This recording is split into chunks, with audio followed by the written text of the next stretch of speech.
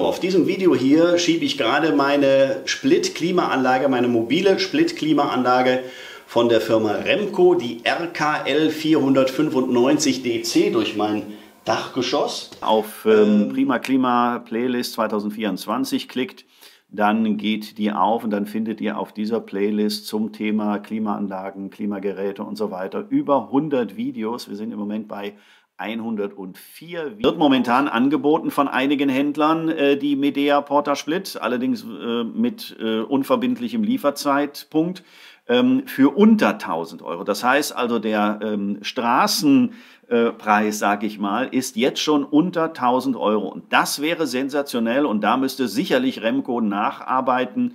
Denn wenn ich hier, wenn die alles das kann, was hier ähm, beschrieben wird, äh, und ich zahle fast nur die Hälfte dafür, dann muss äh, die Firma Remco da wirklich nacharbeiten, ähm, denn da werden sich natürlich dann sehr viele Leute für die Medea entsprechend entscheiden. Aber nochmal, äh, wir müssen erstmal gucken, wenn sie rausgekommen ist und ähm, ob dann auch alles so funktioniert, wie es jetzt hier propagiert wird. Hier sind nochmal alle Zusammenfassungen ganz interessant. Hier könnt ihr euch nochmal die einzelnen Fotos entsprechend anschauen.